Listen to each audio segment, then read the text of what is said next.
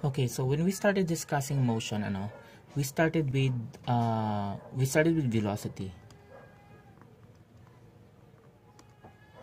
So velocity. Okay? So we know that velocity v is equal to displacement s ito yung change in position which is again displacement over time. Right? So, pag dinerive mo yung equation for for displacement for S, uh, you cross multiply, ano kung naalala nyo yung algebra nyo before, you cross multiply, and you will have S is equal to velocity times time. Okay? Uh, average velocity average velocity this time ano for this particular discussion ang average velocity ko is like uh, getting the average of two velocities. So, paano ka ba kumuha ng velocity? Di ba you add and then you divide. Okay? Uh, V1 plus B2 over 2. So, that's average velocity. It's like getting the average. Ngayon, alam mo na this velocity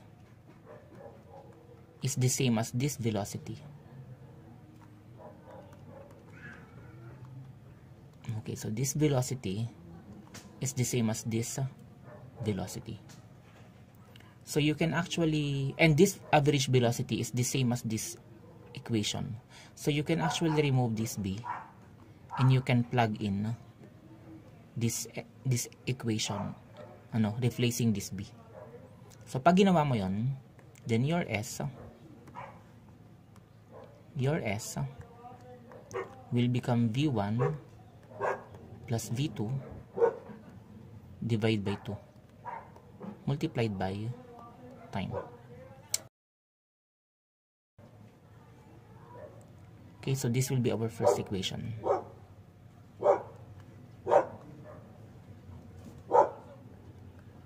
This will be our equation number 1.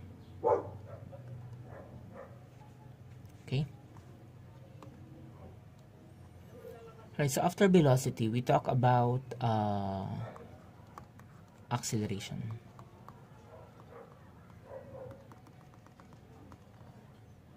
Okay.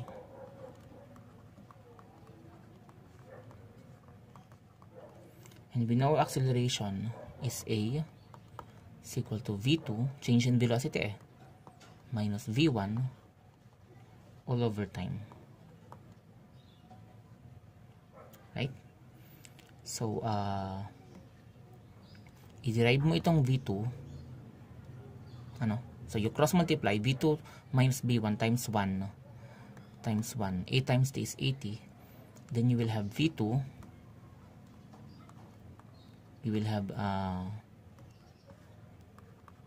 you will have V2 minus B1 is equal to 80. So you transpose B1 to the right side of the equation. And you will have V2 is equal to V1 so negative V1 will become positive V1 plus 80 okay? So this will be our this will be our second equation. Okay? And now you substitute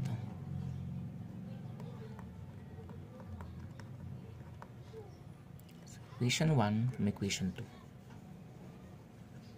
Okay? So, paano? You know that this V2 is the same with this V2. So, you can actually remove this huh? and then plug in this entire equation replacing V2. Okay? Kasi naman, V2 is equal to this equation of B1 plus 80. So, you remove V2, you plug B1 plus 80 dito. So, pag ginawa mo yon then you will have S is equal to V1 ito yun plus V1 plus 80 okay? Divide by 2 multiplied by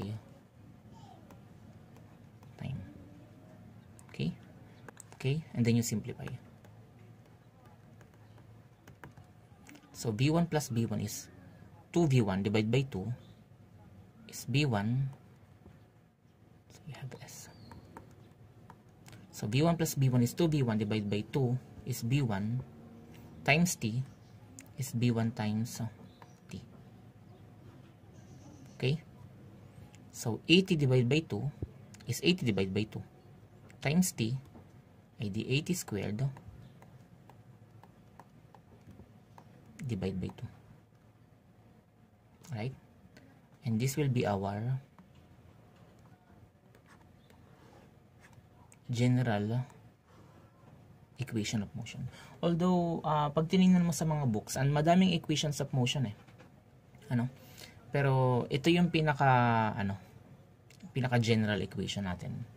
Right so yung mga problems ko ibig sabihin para ma-solve niyo yun, yung mga, yung mga formula noon, ay kukunin nyo lang din dito. Dito lang maglalaro yung mga formula ninyo.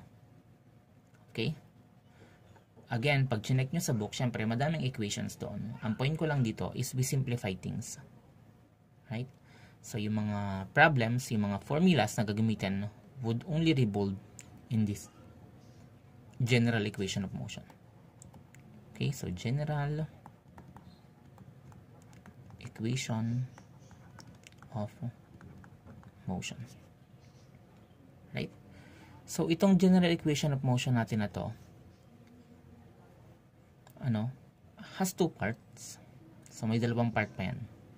First is this part, and the other one is this part. Separated by this plus sign. Okay? So, yung, yung first part, S is equal to V1 times time. Pwede mo tong gamitin no? kapag no acceleration. So, syempre, pag walang acceleration, acceleration ang nangyayari, kapag walang change of velocity, then A mo, this A, would be 0. So, multiplied by time, divided by 2, this 0 na yan. So, cancel na tong part na to. Okay? So, cancel na tong part na to. B1 times time ka na lang. So, distance due to the initial velocity, kumbaga. Okay? Yung second part naman, S is equal to A t squared over 2. Pwede mo naman gamitin to if there is no initial velocity. So, pag wala namang V1, say for example if the object if the object starts from rest ayan. Sabihin pag nag-start siya from rest big sabihin initial velocity would be 0 right? So pag walang v1 then matitira na lang sa'yo is 80 squared over 2 so ito yun. Okay?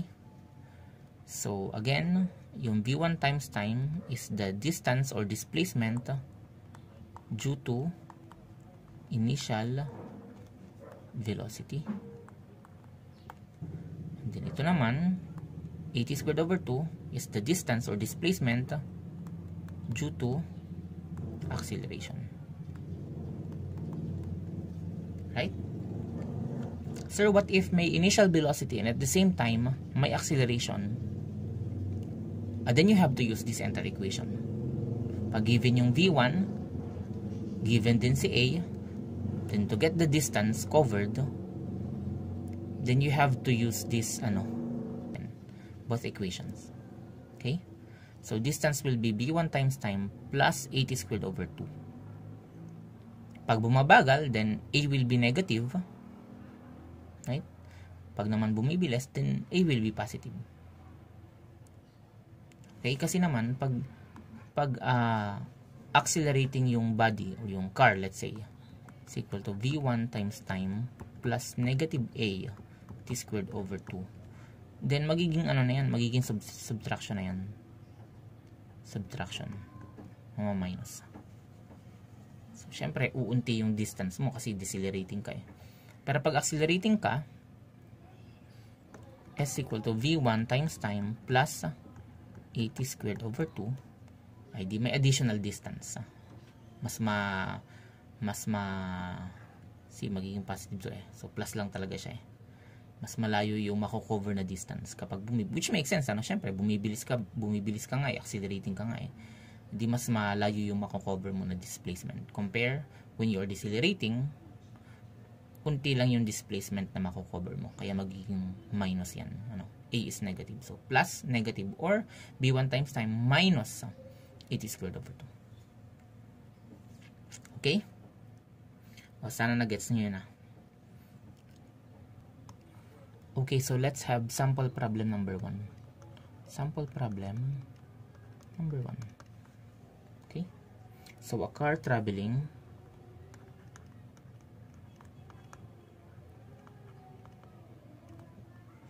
10 meter per second? Is accelerated.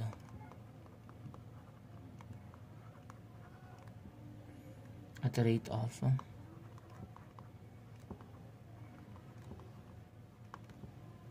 one point twenty five meter per second. Squared per 5 seconds. Per 5s per 5 seconds. Okay? So find the following.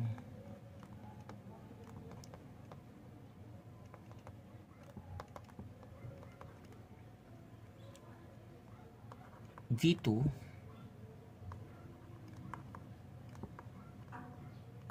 at the end of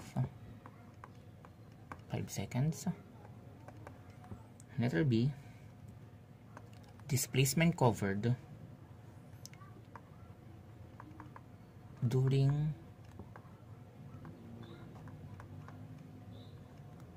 the elapsed time of 5 seconds. Okay? So, pag nag-solve kayo class ng problems, ano, mga word problem, or you always write the given. Then the formula. Then the solution. Okay ba yan? so magiging guide nyo din kasi yan eh. For example kung meron kang given kita mo na kaagad yung given. So a car traveling 10 meter per second. So alam mo na kaagad na initially it is already moving at 10 meter per second. So may V1 ka na kaagad Right? So, is accelerated daw. So, alam mo na kaagad na acceleration, acceleration yan.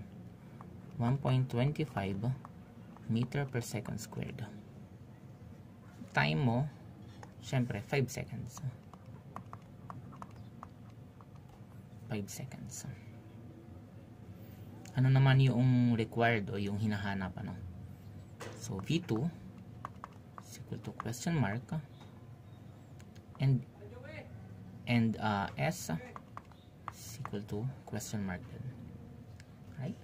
So, kung may given ka, sabi ko sa inyo eh, uh, when you write the given formula and solution, this can also be your guide. Ano? So, kung may given ka, alam mo na kaagad na hinahanap mo is V2. So, equation na lang ng V2. Which is from our pre from our discussion earlier, V1 plus 80. Okay? And S mo naman, so you have initial velocity and at the same time accelerating, then you have to use the general equation of motion, which is V1 times time plus 80 squared over 2. Is accelerated eh, so positive yung 1.25 natin.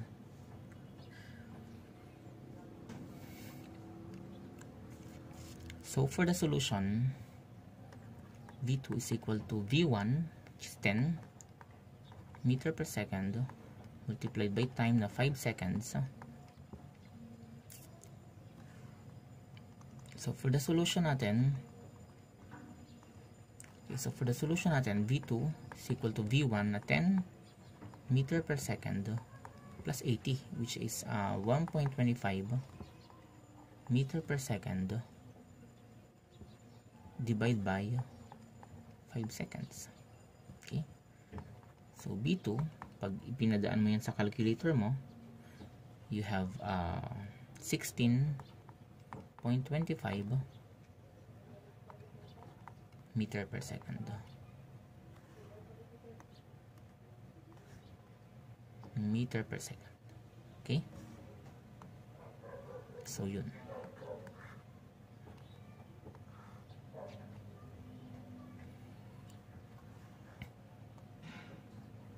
Now for uh, S, V1, 10, V1, 10 um, meter per second multiplied by 5 seconds plus acceleration which is 1.25 meter per second squared multiplied by time 5 seconds squared divide by 2. O you don't forget to multiply time by itself. Ano? Sinaka-square yung time eh. So you have S is pag pinadaan mo sa calculator yan, you have 10 times 5 plus 1.25 times 25 divided by 2, you have 65.25 meter. And you always box your final answer. Okay? Sana nag-gets yan ha? Okay, so let us have another problem. Wherein the situation is that the car or the vehicle or the body is decelerating. Paano naman pag bumabagal? Okay? So, sample. Problem number 2. Sample problem number So at the instant a motorist. At the instant a motorist is driving.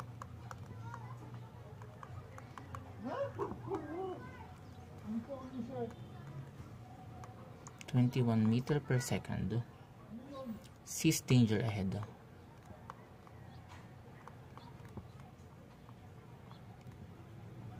And applies the brake.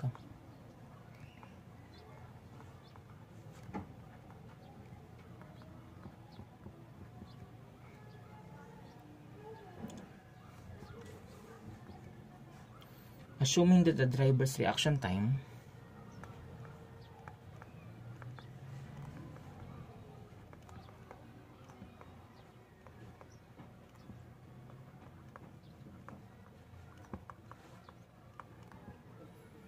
3 fourth of a second.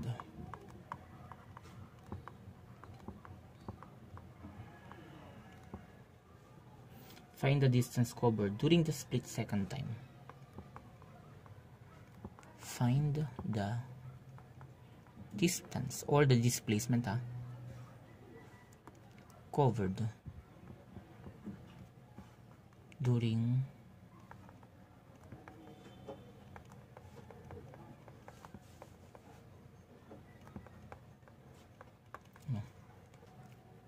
Okay, so uh, at the instant a motorist daw is driving 21 meter per second, so mabilis siya, no? Uh, sis danger ahead, siguro bigla may tumawid, tapos bigla niyang inapakan yung brake. Reaction time niya is 3 fourth of a second, then find out the distance covered during that split second time. Kasi syempre, hindi naman pag inapakan mo yung brake, mag-stop ka agad yung car eh. Syempre, may additional distance pa na mako-cover yun, di ba? I mean, now, ganun naman yung observation natin in our everyday experiences. So, tingnan natin. Oh, syempre, what are the given? Given formula and solution. So, initially, 21 meter per second. So, meron ka na kagad nakitang V1. And then, uh, may time ka na kaagad. 3 fourth of a second is around 0.75 second. And what are the other given? Meron pa ba? Ah, wala na, no? Ah, meron pa, ano? Ang tawag dito class is imaginary given. Alam mo na yung final velocity, yung final velocity is zero.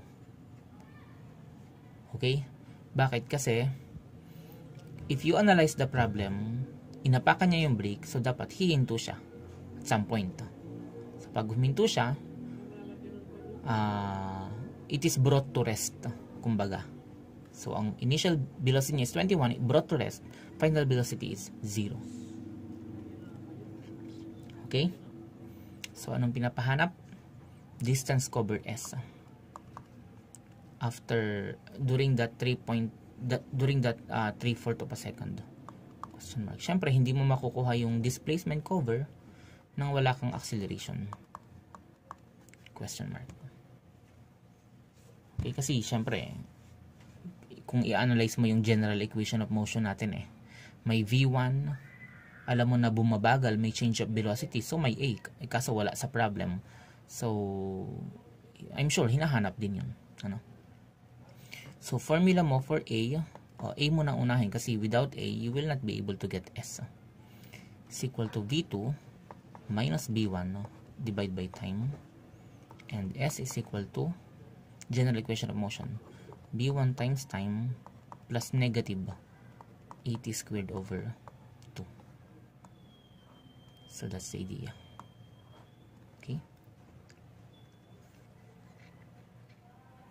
Uh, for our solution, then A is equal to V2 0 minus 21 meter per second divide by 0.75 second. No? So, A is equal to negative 21 minus 0.75. Okay, and what is the answer for that? So, you have uh, A is equal to uh, negative 21 divided by 0.75 the answer is negative 28 negative 28 meter per second squared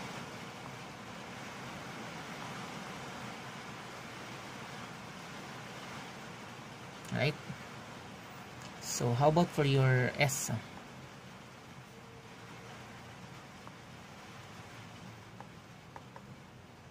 So we have initial velocity which is 21 meter per second multiplied by 0.75 second plus negative 28 multiplied by 0.75 hindi ko na ilagay ang unit ha squared divide by 2 okay. So what's the answer? 21 times 0.75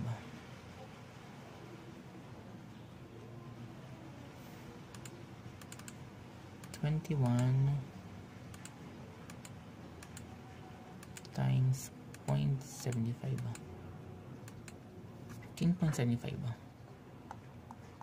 0.75 meter. Minus. So plus negative eh no 0.75 0.75 naka-square siya eh so you multiply it by itself. Or ito na lang. 0.75 square times uh, 28 is equal to divide by 2 7 point 7 point 875 875 meter.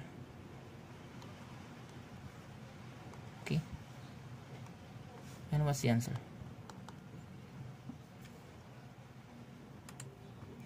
Fif uh, 15.75 minus 7.875 ganun din to Ganun din. 8.75. 8.875. 8.875 meter.